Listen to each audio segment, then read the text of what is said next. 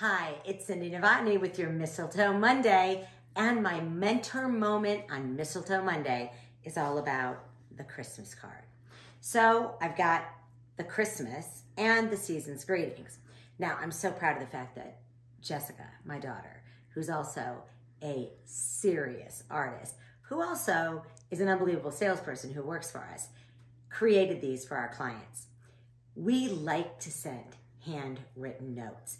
And I think everyone needs to consider not just sending an e-blast, not just sending an e-card, but actually signing a card, sticking it in the mail, writing a note, and sending it.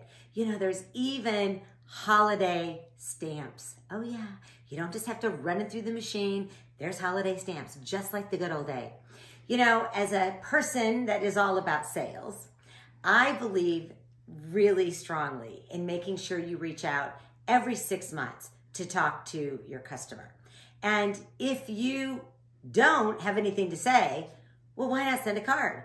Why not send even a postcard? Let's say they don't celebrate holidays. Well, that's why this one says season's greetings, because there is a season that we can give a greeting to. So remember, if you want to talk to your employees, if you want to be able to reach out and, and definitely let people know you care, send them a personal note. Take the time to send a greeting card.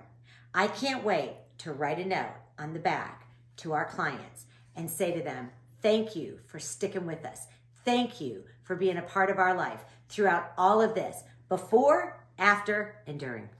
Have a wonderful, wonderful week, everybody, and I'll see you next time.